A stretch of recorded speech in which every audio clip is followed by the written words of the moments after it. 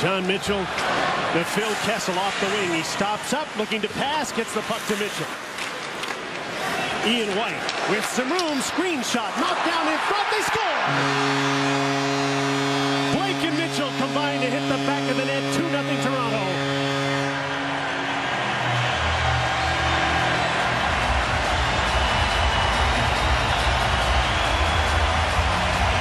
Well, Phil Kessel has come here to try to make an impact, and what he can do so well is just create plays out of nothing. He doesn't throw it away, gets good support by Mitchell, and then watch the play on the doorstep.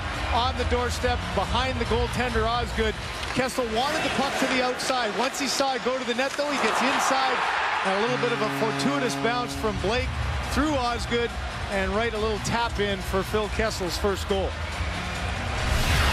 First goal as a Toronto Maple Leaf. Not exactly the way everyone imagined that he would get his first one.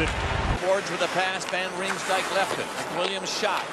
Price wasn't fooled. He was waiting for that. His center. Score! And he was not ready for that. A wraparound by the Maple Leafs coming in as Price made the first save. And then the puck was loose, and there was Kessel.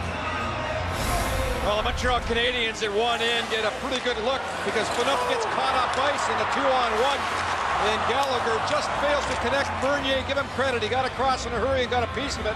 And then at the other end, Carey Price may be looking the wrong way here as he goes around. Yes, in that one second where he peeks over his left shoulder, Phil Kessel comes from behind the net and sneaks it in between his legs to get the Leafs the first goal of the hockey game. At 3.58 of the first period.